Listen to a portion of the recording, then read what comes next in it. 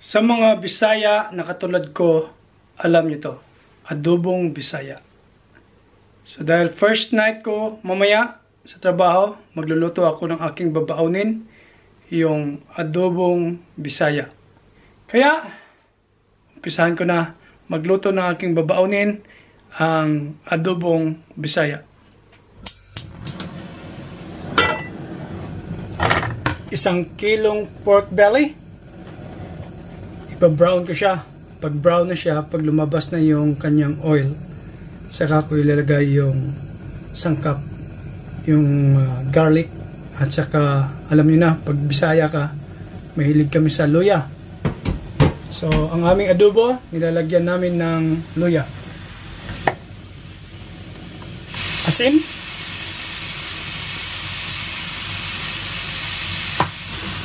kunting halo-halo Lapit na. Pag ito mag-brown at magmamantika, saka yung sangkap. Brown na. Madaming mantika. Kaya tatanggalan ko siya kunti ng mantika.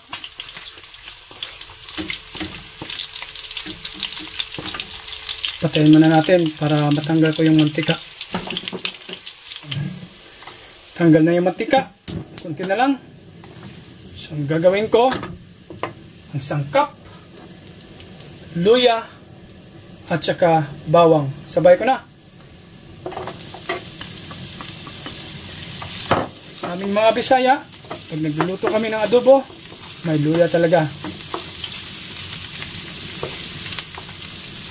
Ito yung tawag sa amin, adobong Bisaya. Call it how you want it. Pero Bisaya, mm, bango. Hindi ko na in-slice yung mga bawang. Sarap kainin pag uh, kwan, malalaki. Halo na natin.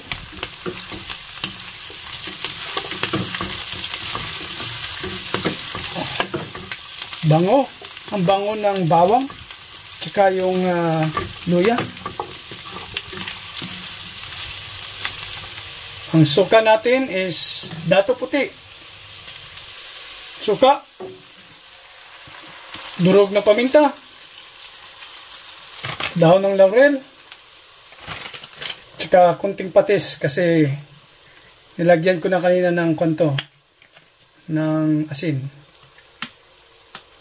Kunting patis. Yan. Hayaan muna natin kumulo. Saka natin haluin uli. Kumulo na. Mmm, sobrang bango. Uh, ayos. Palalambutin ko ito. Lagyan ko ng tubig. Kumukulong tubig. Yan. Lambot yan. Siguro mga 40 minutes. Dadagdagan ko mamaya ng asin. Pag hindi pa masyadong kuha ang lasa. So habang tayo ay naghihintay ng niluluto, yung uh, adobong bisaya, kain muna tayo. Oras is quarter to 10 ng umaga. So ito yung aking breakfast. Tuna. Nilagyan ko ng itlog, scrambled egg. Hinalo ko. Chicken. At ito, tortang okra. Ang aking fats, avocado. Kain mo tayo. So, ang oras ay quarter to 10 ng umaga. Ang huling kain ko kahapon ng alas 12 ng tanghali. So, it means mag 22 hours na akong hindi kumakain. Medyo pumayat na ba ako? medyo pumayat na ba? Comment kung medyo napupunta, napupunan nyo na, napapansin nyo na medyo pumayat ako. Ilalagay ko yung uh, lumang litrato ni Japit Boy bago ako mag uh, low carb at saka intermittent fasting. So walang kanin, pero ito may carbohydrates naman ito eh. Yung okra. Mm -hmm. Hmm.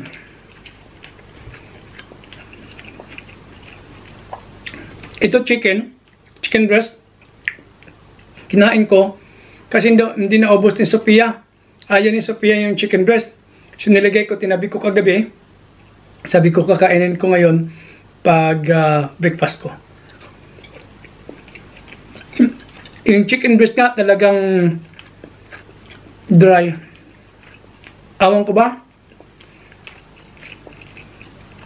Bakit paborito ni Hana tong chicken breast? Tortang okra.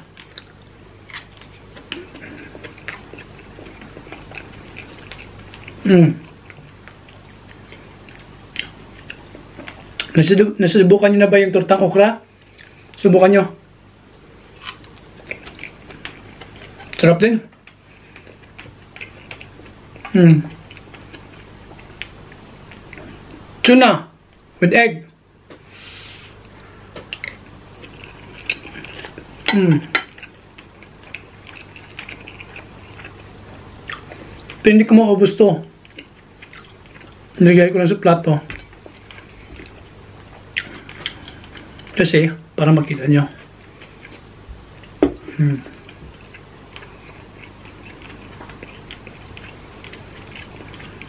Hmm. Eh? Tortang talong at tortang okra.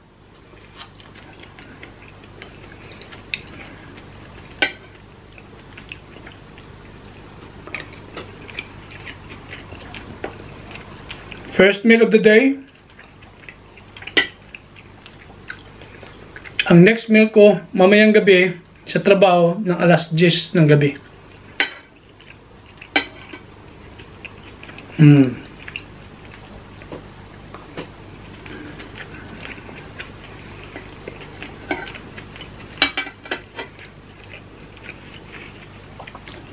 Sarap. Pero, totoo lang, kahit 20, 22 hours na akong hindi kumakain, hindi ako nakakaramdam ng gutom kasi panay inom na ako ng tubig tsaka black coffee. Pero kailangan ko nang kumain kasi oras na para kumain. Para 12 hours ang gap ng next ko nakain. Alas 10 ng gabi, ang sunod ko nakain, kinabukasan pa ng alas 4 ng hapon. So, ilang oras yun? Mmm. Itong tortang okra, sarap.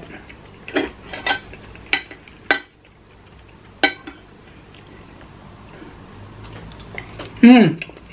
Sige. So, kain mo na ako. Pinapalambot ko yung adobong bisaya. Ito na. Nagmamantika na siya. Hmm. Wala ng tubig. Malambot na. Tikman ko yung lasa ng sauce. Kung okay na yung lasa ng sauce, okay na. Kung kailangan pa ng asin. Okay na. Hindi na kailangan ng another asin. Hmm pagmamantikain pa talaga natin. Yun. Pagmamantika pa yan. Okay na to tikman natin kung malambot yung karne.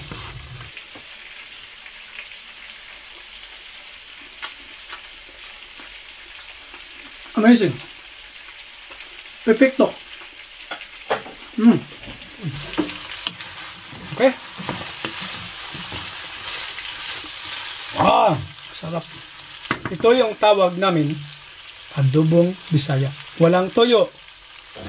Okay na. May baon na sa Japet Boy mamaya. So, papakita ko sa inyo paano ko kainin to sa litos. Parang samuyopsal ang dating. Adobong bisaya. Tsaka litos. Naka-break time ako ngayon alas 10 na ng gabi. So ito ang aking kakainin sa gabing ito. Ng pagkain ito, parang sanglupsal.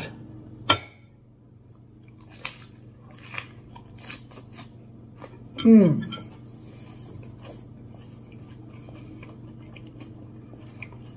Sarap. Mm.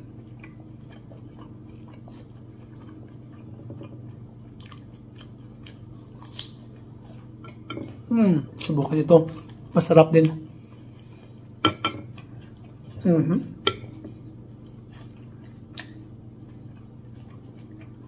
Dito sa trabaho, mayroon kaming break. Pero ngayon relax kasi tapos na yung exam. Alam niyo, pag tapos na yung exam, mga estudyante, nagre-relax na. Kaya hindi ganong busy. Kaya yung break mo, pwede mong expand. Mm. Sarap talaga.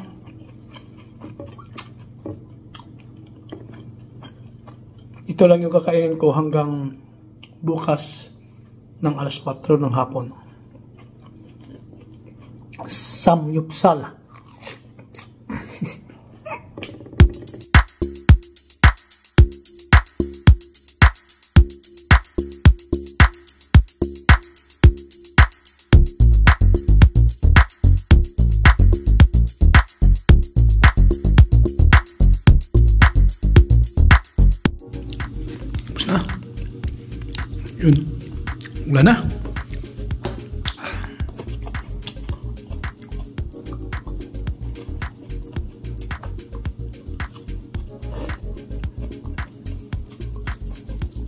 Ayos na ayos. Hmm. Hmm.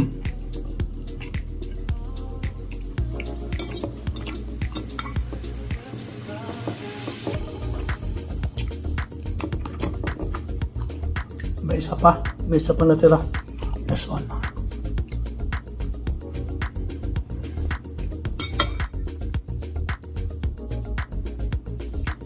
Ayos. Karating ko lang dito sa aming tinitirhan. At uh, maga, alas 8 ng umaga, Saturday, Sunday. Pag Saturday, Sunday, ito yung nadetentnan ko. Naubusan ako ng car park. Tingnan nyo. Punuan ng car park. Kasi halos lahat ay walang trabaho pag Saturday, Sunday. Kaya ako ang kawawa pag muwi ako ng alas 8 ng umaga. Wala akong car park. Wala akong space. Kaya dito ko siya pinapark sa tabi lang ng daan. Yung isang kotse kasi hindi ko ginamit yon Ando doon. Itong kay Hana, ito yung ginamit ko kasi tipid sa gasolina to. At uh, ngayon dito, walang walang bakante. Kasi halos na mga taong nagtatrabaho rito ay naka-opisina. Kaya wala silang pasok Saturday and Sunday. Ayun, may lumabas. May lumabas. Yan, paparada ko dyan. Good timing. May lumabas. Yan, may paparadahan ko dun. At least, uh, hindi na mababother si Hana ng uh, kanyang mapaparadahan. Kasi uh, bumababa pa siya para i-repark ang sasakyan. Yun. Okay na. Yun. At least. okay. Uh, balik mamayang gabi sa trabaho. Dalawang gabi pa. Uh, tapos na ang dalawang gabi. Dalawang gabi pang natira. So, yan. Pahinga na naman si Japit Boy. At uh, tulog muna. Balik ng alas 8 ng gabi sa trabaho.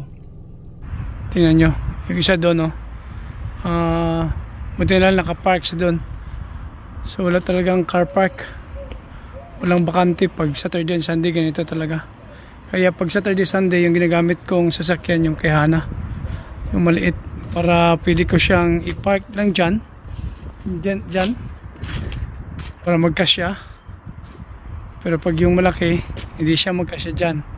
Kasi na-occupy niya tong dalawa at hindi makakalabas. So, okay naman at uh, nagkaroon ng bakante pag uwi ko.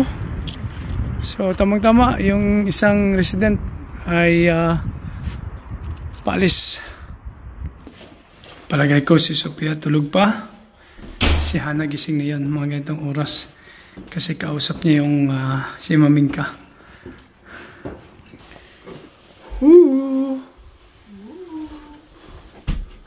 Where are you? Ano? Cleaning already?